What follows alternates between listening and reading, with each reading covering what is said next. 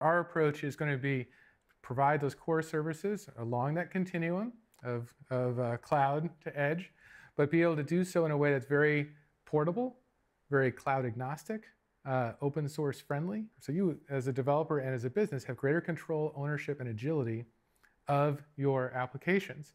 Because you may choose, let's say, a Google Cloud Platform for this particular region because they have great regionality, let's say in Europe. Or you may use uh, Linode Akamai because our Kubernetes engine is so simple and, and powerful.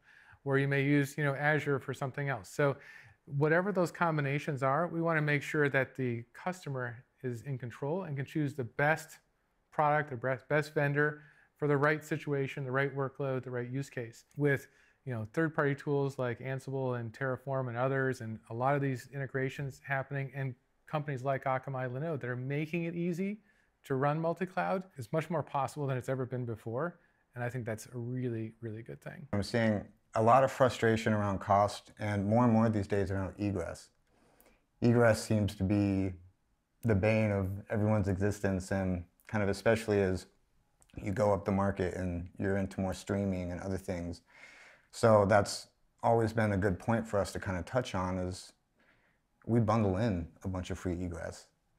And when we can show people how much free egress they're getting, that's really attractive. So something that's fairly new to us, and I'm not sure that it's easy to observe um, outside looking in, is that we have been moving towards some more managed services, uh, services that are uh, a little bit more um, dare I say, complicated, simple. They're built to be simple, but they are more technologically complicated.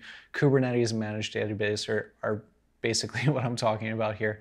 Uh, when we began offering those things, uh, that changed how we do support. We know that the developer community that Linode has been a part of for so long, you want to get your hands dirty. you want to be maybe deploying some of these things yourself, managing them yourself, really understanding um, the build and the structure of your architecture or of your infrastructure.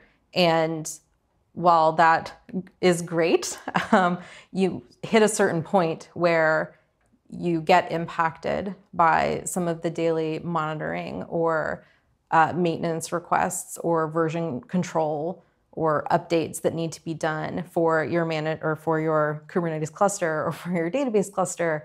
Um, and those are two of the most needy uh, applications or uh, components within your stack.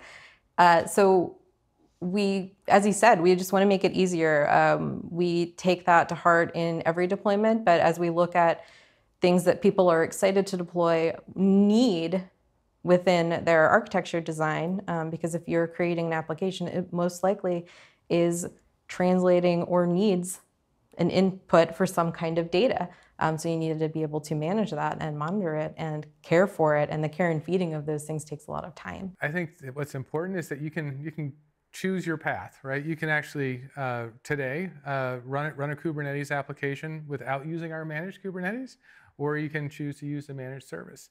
And it really depends on what's right for you. To be able to roll your own may make a whole lot more sense than using our managed service, which we try and put the easy button on it. We try and make it as easy as possible for those that, you know, where that capability is going to work for them. But if you have something very sophisticated or very custom, being able to roll your own may, may make more sense. So I think the idea is as long as you're offering that sort of duality or those two options, I think you're, you're in good, good shape. It's, it's beautiful. Like, and it's, I'm more and more like that hesitation towards adopting it. Really, it's there to make your life easier, It's what it is. And I can see why it's intimidating in the sense that, like, if you take a course, like a Kubernetes 101 course, and at least a lot of the ones that I took when I first started getting involved with it, it started with the beginning of how it all kind of works and bootstrapping your own cluster, which I think is definitely, you know, a good learning step. But that in itself, I can see where that becomes intimidating because bootstrapping a cluster, right? There's just like this explosion of components that come out. We've always been a support team that uh, were experts in Linux, uh, but not experts in the managed version of Linux things, right?